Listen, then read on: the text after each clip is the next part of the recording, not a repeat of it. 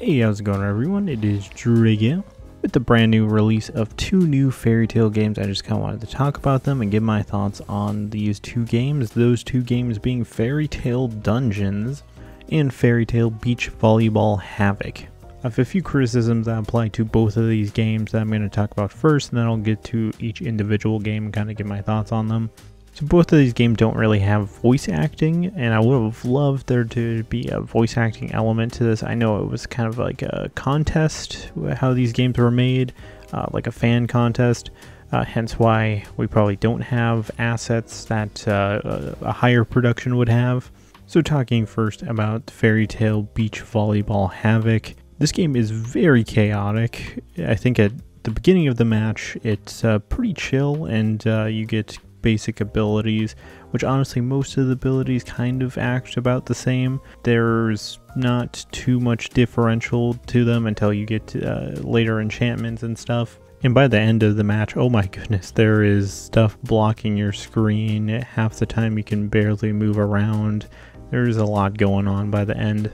And going up against CPUs, I do think uh, they kind of gatekeep you to where you can't like flawless uh, 4-0 the other side to where it kind of forces you to have to be 3-3 uh, and have a match point to finally end the game. The fact that it has you pick two characters and then you can go into your match, um, I don't love that you can't switch between the two because it would have been cooler if you could you know, switch between them unless if I'm just stupid and I don't know how. But as far as I can tell, you can't switch mid-game. And honestly, the CPU teammates they give you are pretty garbage, so most of the time I just don't end up using them. I will say this game compared to Fairy Tail Dungeons has quite the roster that you can pick from. There is a lot of different characters from multiple guilds that you can pick from, which is very cool. So when selecting certain characters, I notice they do unique things, for example like Mira and her siblings and Erza. When you pick Mira, when she gets her magic ability, like she turned into her she-devil form, so that's pretty cool. And another example being uh, Lecter and Frosh will appear if you pick Sting and Rogue. They'll just be on the sidelines cheering you on during the match, which is such a fun detail.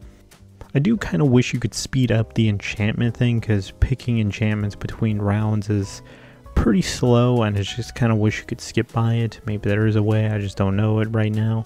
But generally, I actually really do think this game's very fun.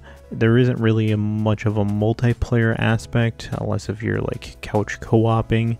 And this game is very bright and colorful. I kind of wish there was more uh, stage selections too, because there's really only one stage you're on. And a lot of the enchantments are Easter eggs to the show, for example, like the Zodiac keys, there's like an Edolas uh, ability. And then there's just like a lot of silly or probably more Japan referencing Easter eggs for enchantments. Also, additionally, compared to Dungeons, this one is a lot cheaper. I believe I paid like five bucks for it, so that was a great deal. And honestly, I think for five bucks, this game is definitely worth it. And for Fairy Tail fans, it's just a lot of fun to go through. It's just more of like a little mini game volleyball simulator, I guess. Mario Kart elements of like random power ups that you get that really change up the match. So, talking about Fairy Tail Dungeons, this is a completely different game now to where you pick a character, you go through a dungeon, you get like these cards, and you have to pick uh, your cards to attack. And uh, as you go through the dungeon, you get better cards. Firstly, I wish there was way more characters in this. You really only get five, that being Gray, Lucy, Natsu, Wendy, and Erza. Technically, if you're counting the cards, you could get more in the sense of you get companion characters and also like Lucy, she gets her celestial spirits. So like once you beat a dungeon, you get that character having a set move set that they can move on to future dungeons and uh, go to higher battles. And I kind of wish you could upgrade them more outside of just the first dungeon because pretty much after you beat the first dungeon, that character's locked in with that move set. And I mean, maybe there is a way, and I just haven't gotten there yet. But currently, as of me playing it, I haven't gotten to that point, if there is that. This game is definitely obviously luck based, but it is kind of hard at the beginning just because you don't have characters upgraded really at all because as you go through dungeons, you'll unlock like additional things you can go into future dungeons with. Like for example, for like Lucy, you could unlock a thing to where you, you enter the dungeon with certain keys or certain star dresses. So Lucy's a bit more powered up when she goes into a dungeon compared to just only having like a few keys and a few star dresses. So the game definitely does get easier the longer you play because you're going to unlock things to help you in dungeons that are a lot more useful than the base things you have. Now characters like Lucy and Wendy, I think it's super fun that as you go through the dungeons, like in Wendy's case, you can get Carla, so when you beat a screen, you'll get Carla showing up at the end screen. And for Lucy, when you get more keys, more and more of her celestial spirits will show up behind her as she wins uh, dungeons. Those are just kind of fun little side notes that I kind of love that they added in. Now, there is a bunch of these side characters you can find in dungeons, and they'll just give you a singular attack that you can use at uh, certain points in your game. I kind of wish that they were playable characters instead of just being one random attack that they can give you and some are a lot more useful than others. It also would have been cool if they would have had a dungeon maker in here to where the community could share different dungeons and stuff and just kind of prolong the lifespan of this game. And similar to the beach volleyball game, this game has a lot of Easter eggs in the move sets.